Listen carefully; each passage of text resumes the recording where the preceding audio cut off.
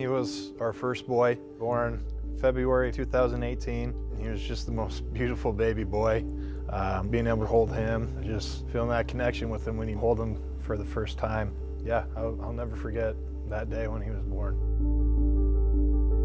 So Ty, he is two years old, coming up on three, and as Ty was growing up, he was one of the most happy, smiling, interactive kids, and uh, we noticed around um, eight months, the talking kind of started going away, his babbling, and then after his 15-month checkup, he, he kind of just went in blank slate. He wouldn't look at us in the eye. Um, he he wouldn't talk, he wouldn't make sounds. Um, so we knew that um, it wasn't our Ty growing up. With us, we kind of just were in the denial, saying, oh, you know, he's just a goofy kid, he does his own thing. Um, we kind of started to talk to my wife's parents, saying, is this normal? Do you think um, they kind of paused with their answer? We realized that you know, this something is not uh, right. So that's when, during the season, my wife took him in to get an evaluation, and that was a that was a very hard day. Um, I remember I was at practice, and uh, that's all I could think about that whole entire day. Is I knew my wife was going in, just coming back to the locker room and calling my wife and hearing her um, just hysterically crying uh, that's when uh, we were told that he had a severe case of autism. But it was tough because, you know, I couldn't be home helping my wife. Uh, couldn't be around Ty. Um, I remember during the season, I'd just come uh, to the stadium and sit in my truck, kind of just space out. And that season of 2019 was probably one of the hardest things I've had to go through.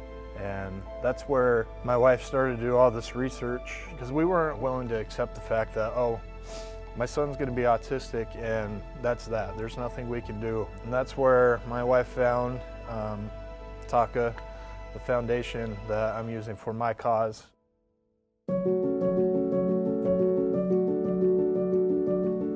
Um, we know you haven't seen your cleats yet. We have them I think they have them there. Oh, you got them there? Yes, I can't wait to see them. These are awesome. There we go. Love it. I have the uh, 1 in 54, which, you know, people need to know that 1 in 54 children are diagnosed with uh, autism. And then this is TACA's logo. And then the uh, universal symbol for autism is a puzzle piece. Every year I've always wanted to do a cause and knowing that it's for my son, it means the world. I'm gonna be able to have these shoes and then I would like to gift them to my son that he can, you know, put them up in his room. I just, people need to know that there's hope. I, I can't express that enough that people need hope to get through this because it's honestly the hardest thing I've ever been through. Uh, it still is and it still will be. And um, yeah, just holding on to that hope.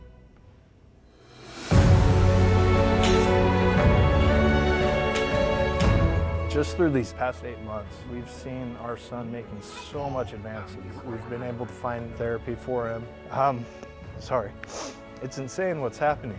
Um, now my son will, he'll walk up to me, he'll want something, he'll take something, and he'll show me what he needs. He knows that we're there. We're not just outside of his world, we're finally in and in a part of his world. And um, it's just amazing.